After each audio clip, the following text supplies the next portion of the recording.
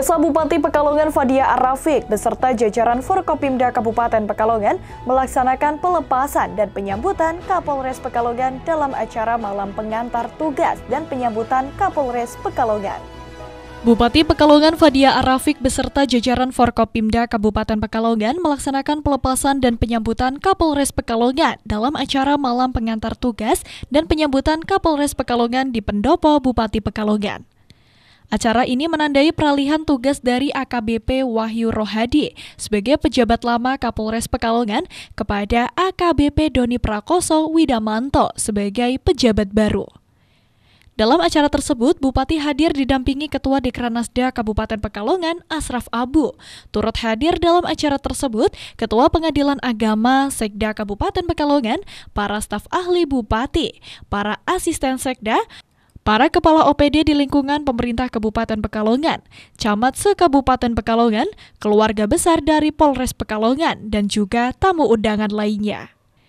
Dalam sambutannya, Bupati Fadia Arafik menyampaikan ucapan selamat bertugas kepada AKBP Wahyu Rohadi di tempat tugas barunya sebagai Kasubag Tihorkam Bak Yanhak Rawat Pers SSDM Polri di Jakarta. Ia mengenang jalinan sinergi baik yang telah terjalin dengan AKBP Wahyu Rohadi selama ini. Bupati juga menyambut AKBP Doni Prakoso Widamanto dan istrinya dengan hangat. Ia berharap bisa berkomunikasi yang baik dan bisa menjalin persaudaraan.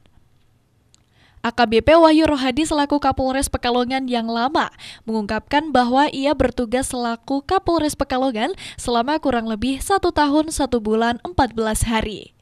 Ia mengucapkan terima kasih atas dukungan yang diberikan selama masa tugasnya di Pekalongan dan memohon maaf atas segala kesalahan.